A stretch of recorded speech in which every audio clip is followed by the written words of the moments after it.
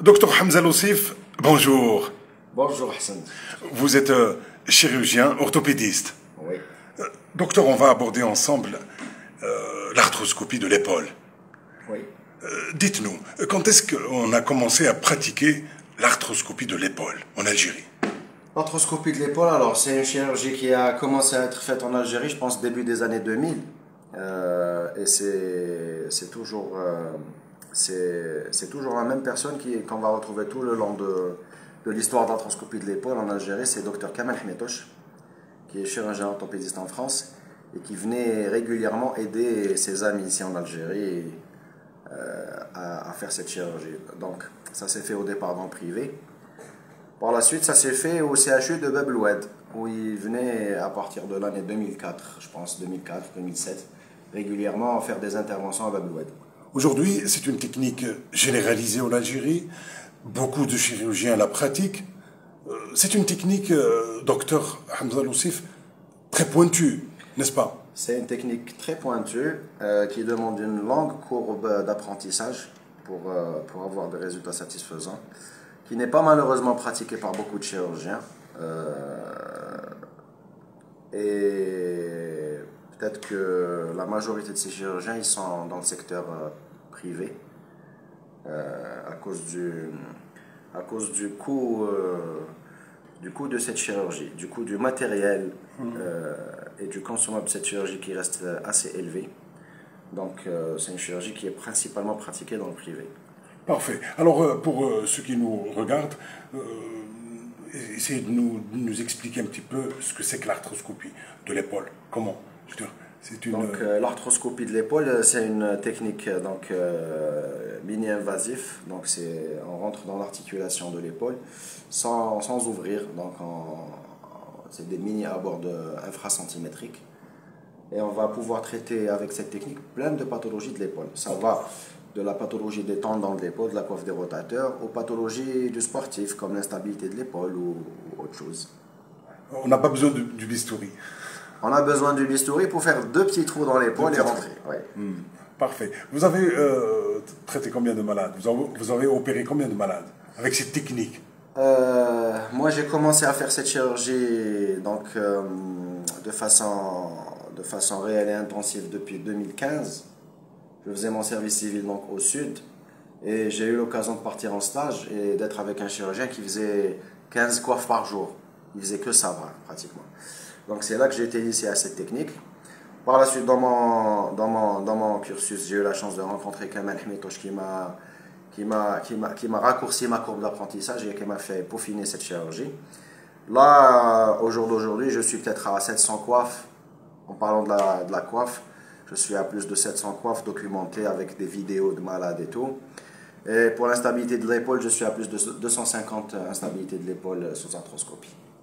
Et aujourd'hui, ils vont tous bien, ces malades traités. Alhamdoulilah, pour la plupart des patients, on a de bons résultats. Euh, c'est c'est ça, c'est la courbe d'apprentissage en fait. Plus on en fait, plus on devient, plus on maîtrise et plus, plus on appréhende les complications, plus, plus on sait gérer les malades. On sait très bien que chaque malade est un malade, mais on apprend à, à gérer les malades euh, en fonction de, de, de la pathologie, en fonction de la technique aussi, en fonction du profil du malade aussi.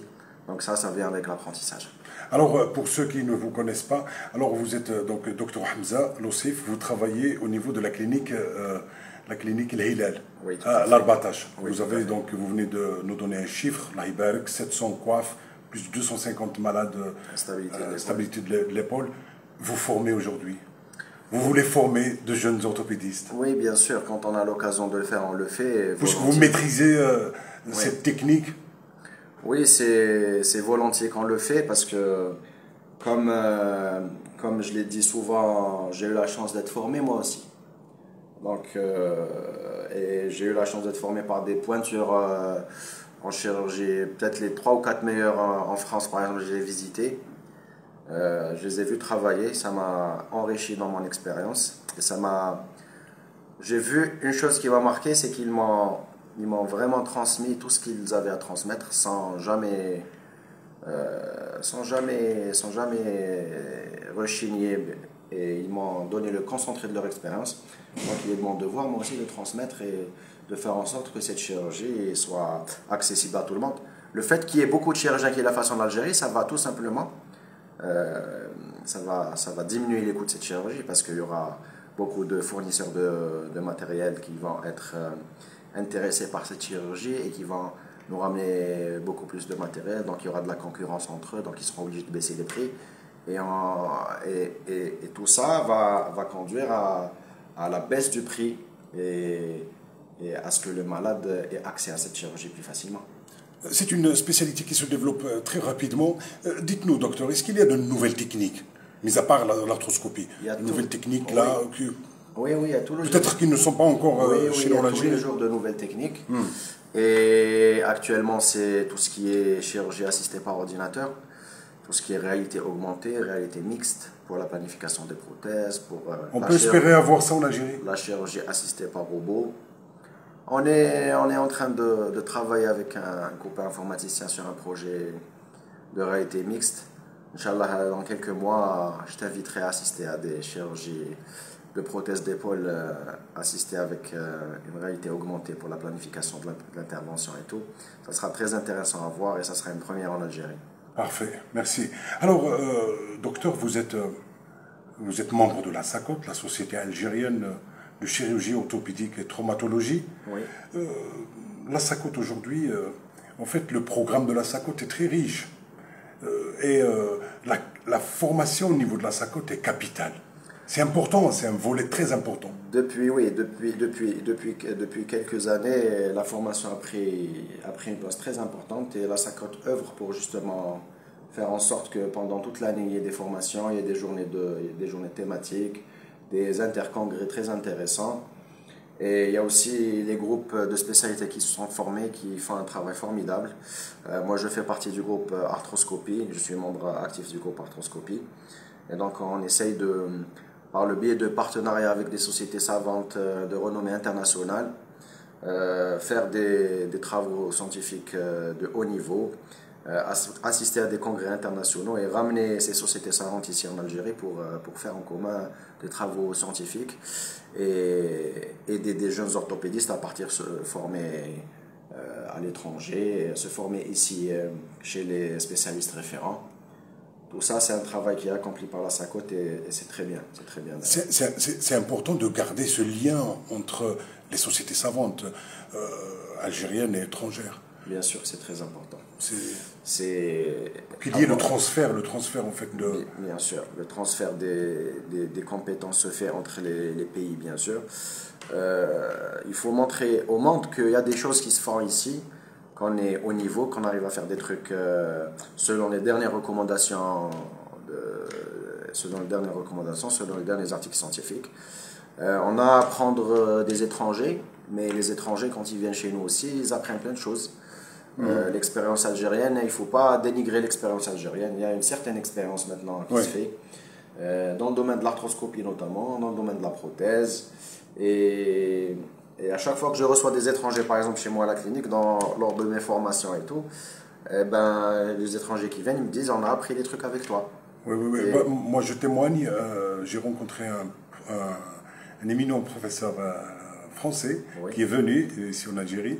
J'ai oublié son nom. Oui, euh, Alors- vous parlez professeur euh, sûrement du docteur Tessier. Tissier, voilà, Tissier. Alors il est venu, il a opéré en Algérie. Alors il me dit, euh, euh, en fait, euh, lorsqu'il a opéré au niveau de la clinique, il me dit, je rentre en France avec euh, de nouvelles astuces de nos Oui. amis algériens. Oui, oui, Voilà. tout à fait, tout à fait. Pour Et dire qu'il y a de la compétence chez nous. Bien sûr, il y a de la compétence. La compétence, elle est partout. Elle est dans les CHU, elle est dans le privé.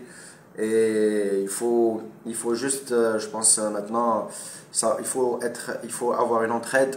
Je pense qu'il faut aller vers le pas de, de travail ensemble euh, entre le secteur public, le secteur privé. C'est, ça doit être complémentaire comme ça se fait ailleurs. Il faut organiser des colloques entre les CHU et le secteur privé pour, que, pour harmoniser les prises en charge, pour que tout se fasse de façon scientifique.